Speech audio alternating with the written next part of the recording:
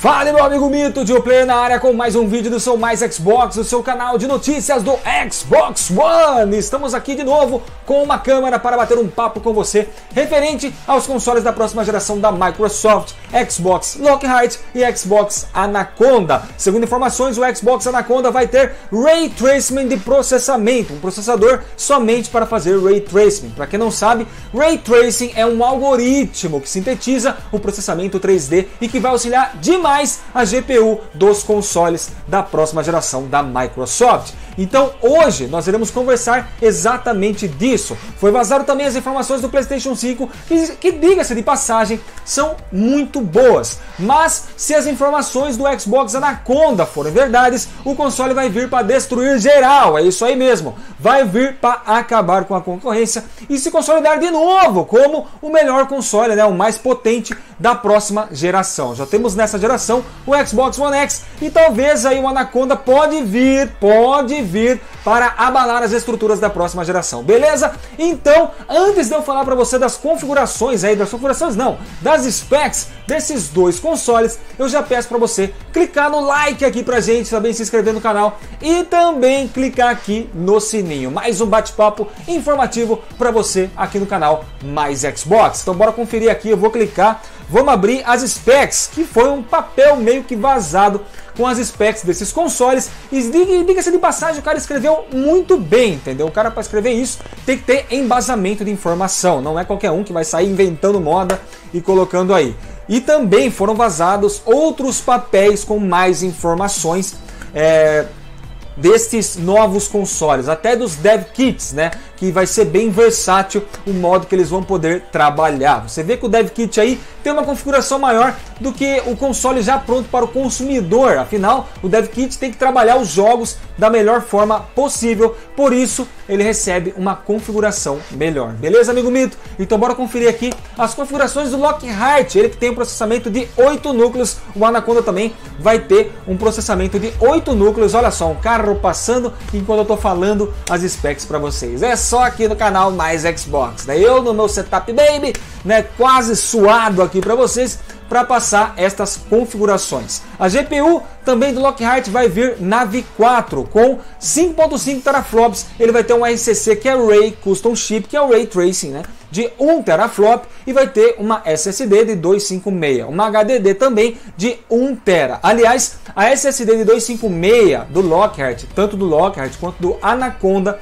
não se sabe se vai estar tá lá só para ajudar na renderização, né, no carregamento, ou ela vai estar tá lá também para armazenamento. Afinal, nós temos uma HDD de 1 tera aqui no Lockhart e tem no Anaconda de 2 teras. Nós vamos continuar falando do Lockhart, senão eu vou confundir a cabeça de vocês. Lockhart aqui, ó, é esse que está na ponta esquerda da sua tela. Vamos começar falando da memória RAM, começar não, né? Terminando aqui falando da memória RAM, que vai ser de 12 GB.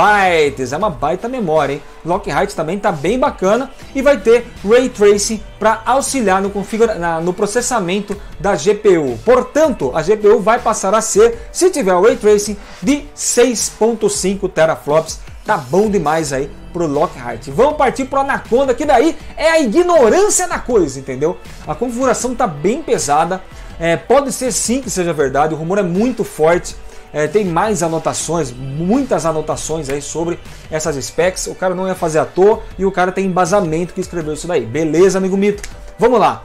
É, a GPU vai ser de 11.1 teraflop e ele vai ter dois RCCs, que é o Ray Custom Chip, né, o Ray Tracing. Ele vai ter 2 teraflops de Ray Tracing e uma SSD de 512 e uma HDD de 2 terabytes. Beleza, amigo Mito? A memória RAM vai ser de 24 GB. Cara, é uma configuração bem monstra, bem monstra mesmo e digamos até, digamos abusiva, cara, porque cara, tá bem pesado aí esse Anaconda, a gente claro que não vai saber o custo dele, vai ser um pouquinho salgado, porque quem quer performance, quem quer performance tem que pagar mais. Estou até quase enrolando a língua para falar aqui para vocês, mas a configuração do Anaconda tá bem pesada e se vier isso, vai sim se consolidar como o melhor console da próxima geração. Beleza, meu amigo Mito? Mas ainda estamos falando aqui de um rumor. Eu não estou falando que ele é melhor que o PlayStation 5, é, ainda trata-se de um rumor. Depois tem o Dev Kit, que conforme eu já falei para vocês,